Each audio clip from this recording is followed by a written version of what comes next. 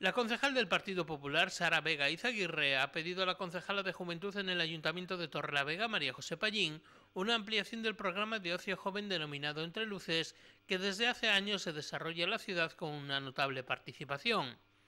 Entre Luces se ha organizado este año entre los meses de mayo y junio, pero desde el Grupo Popular creen que sería muy positivo reforzarlo y ampliar su duración a los meses de octubre y noviembre, ha dicho Sara Vega.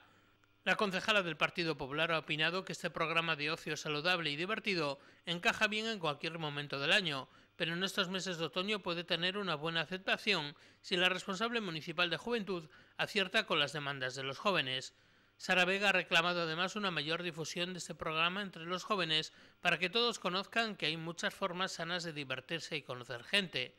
La concejala del Partido Popular se ha ofrecido a colaborar con la edil de Juventud María José Pallín porque entre todos tienen que sumar ideas y esforzarse en crear alternativas de ocio para los jóvenes de Torrelavega. Entre Luces ofrece entretenimiento variado y totalmente gratuito a jóvenes a partir de los 13 años. El programa financiado por el Ayuntamiento de Torrelavega y el Gobierno de Cantabria se compone de actividades deportivas, culturales, artísticas y de ocio al alcance de todos.